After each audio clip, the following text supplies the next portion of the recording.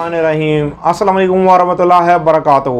میں ہوں آپ کا اسٹرالوجر نعیم عرمان صدیقی۔ آپ لوگ دیکھ رہے ہیں صدیقی اسٹرالوجی چینل آج میں آپ لوگوں سے بات کرنے جا رہا ہوں۔ شمس اور زحول کے نقش کی بات کرنے جا رہا ہوں کہ اس کے نقش کی چال کیا ہے۔ کئی لوگوں کو چال کلیئر نہیں ہو پا رہی اور یہ پتہ نہیں چل پا رہا کہ ہمارا پہلا جو نام کا حرف ہے وہ آتشی ہے، بادی ہے یا خاکی ہے یا آبی ہے۔ میں اس ویڈیو کے اندر یہ بھی کلیئر کروں گا، آپ اس ویڈیو کو پورا دیکھیں۔ اس لیے کہ یہ ویڈیو اگر آپ نقش بنانا چاہتے ہیں، خود بنانا چاہتے ہیں، تو اس ویڈیو کو آپ ضرور دیکھیں۔ آپ کو ساری باتیں مزید کلیئر ہو جائیں گی۔ اس لیے کہ ہر بندے نے اپنے چال کے مطابق نقش کو پر کرنا ہے۔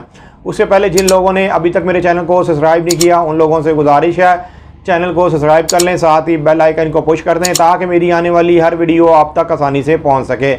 ویڈیو کو شیئر لائک کامنٹ لازمی کریں تاکہ ہماری ٹیم کی حوصلہ افزائی ہو سکے۔ سب سے پہلے میں آپ کو آپ کے نام کا عنصر بتانے جا رہا ہوں۔ مطلب کہ آتشی، بادی، آبی، خاکی، یہ آپ کی سکرین کے سامنے آ رہا ہے۔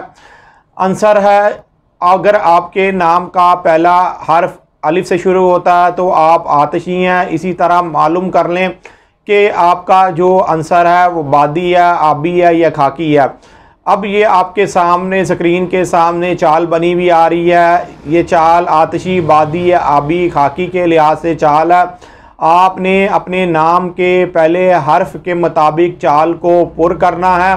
اور پر کرنے کے بعد پھر آپ نے اس نقش کو اپنے استعمال میں لے کے آنا ہے۔